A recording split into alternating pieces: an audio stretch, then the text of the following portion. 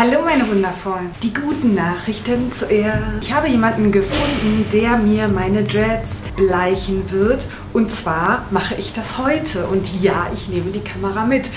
Und ja, ich filme und ja, ich werde ein Video da dazu machen, aber es wird auf Englisch sein. Ich hoffe, ihr kommt klar damit. Ich vertraue darauf, dass ihr einfach klar damit kommt.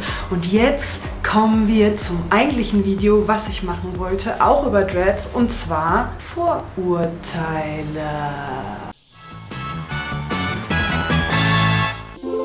Klassiker, die kennen wir ja alle. Dreads stinken, Dreads sind unsauber, Leute, die Dreads haben, sind deswegen auch unsauber und die Haare stinken und sind dreckig innen drin und da wohnen kleine Tiere drin und ja, überhaupt alles ist total eklig, wenn man Dreads hat. Aber was denken eigentlich Leute mit Dreads über andere Leute mit Dreads? Ich kann jetzt natürlich nicht hier für alle Menschen mit Dreads sprechen, das wäre ja totaler Humbug. Ich spreche natürlich natürlich für mich selbst. Ihr erfahrt jetzt, welche Vorurteile ich habe, wenn ich jemanden mit Dreads kennenlerne. Mein allererster Gedanke ist tatsächlich immer, diese Person ist vegan.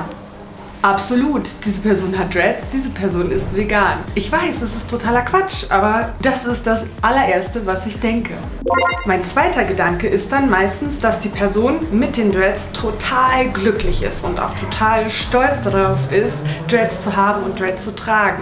Mein Vorurteil Nummer drei wäre dann wohl, dass ich auch annehme, dass diese Person raucht und Yoga macht und meditiert und natürlich eine super entspannte Person ist den ganzen Tag und immer lacht.